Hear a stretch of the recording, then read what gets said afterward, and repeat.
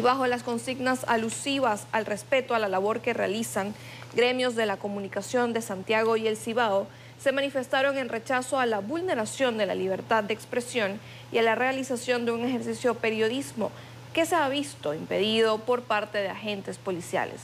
Demandaron que haya sanciones contra los agentes policiales que han incurrido en agresión verbal y física de varios periodistas y reporteros gráficos en las últimas semanas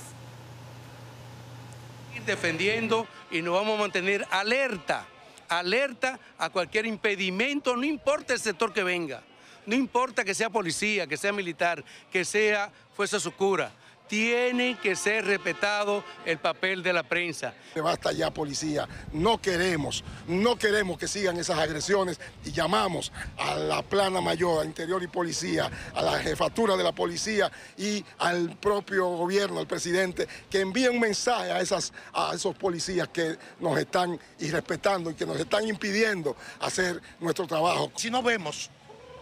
un cambio o una respuesta, vamos a convocar a una gran concentración nacional en Santo Domingo con todo el país y con todo el gremio de la comunicación para que esta voz se eleve. La movilización se realizó en el Parque Duarte frente a la Gobernación Provincial de Santiago, lamentando el accionar lesivo de quienes están llamados a proteger la ciudadanía y en franca violación a la Constitución que aboga y consagra la libertad de expresión e información.